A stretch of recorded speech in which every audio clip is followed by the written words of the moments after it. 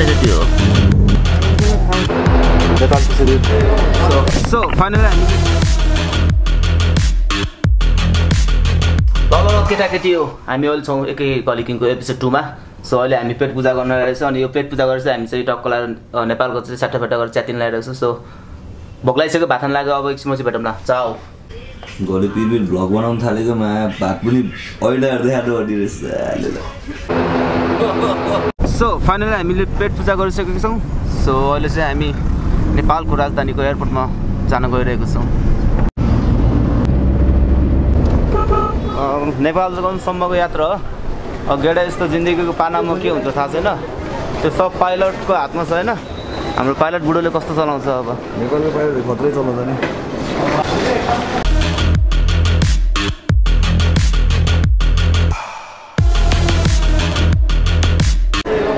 Finally हामीले boarding pass पाइसकेको छौँ।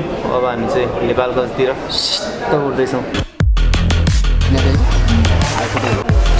नेपालको सेक्युरिटी कस्तो रहेछ भनेर मैले चाहिँ लाइटर छिराउनु कोसिस गरेको नम्बर छिरिसकेँ होइन सेक्युरिटी खासै नरहेछ।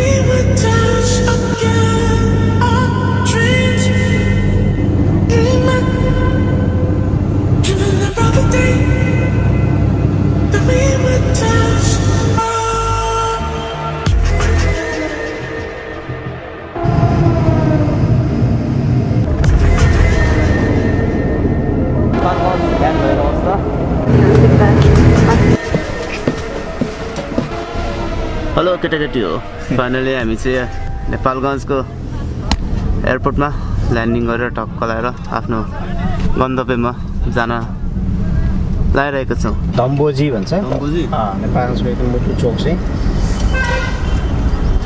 त्यो चाबी कहाँ छ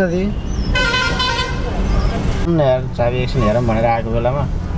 म म त यहाँ छिरेँ अहिले धम्बोजीबाट तपाईँकोबाट भित्र।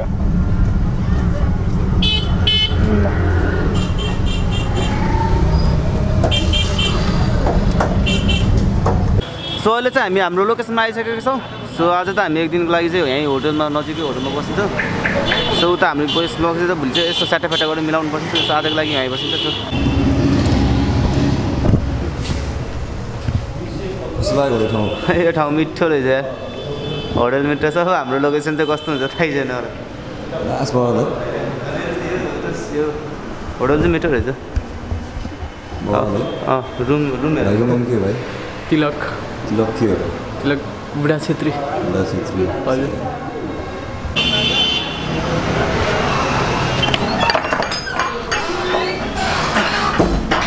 सो हामी हामी चाहिँ अहिले नेपालगञ्जको अप्सरा होटलमा छौँ नाम मात्रै अप्सरा तर यहाँ कुनै एकजना पनि अप्सरा छैन हामी बरु जस एक नारी ब्रह्मचारी दाजुभाइ जस आजको दिन चाहिँ यहीँ साटाफाटा लगाएर बसिन्छ बाहिरबाट त अक्खा थियो कि अँ बाहिरबाट त मिठो थियो बाहिरको तर भित्र पनि ठिकै हो नट ब्याड होइन तर मा यो त जस सोधायो नाम सुन्दै एउटा नानी कि अहिले टोइलेट बल्छ नि अँ कोहीले नि पानी खाएर थुकेन बस्छ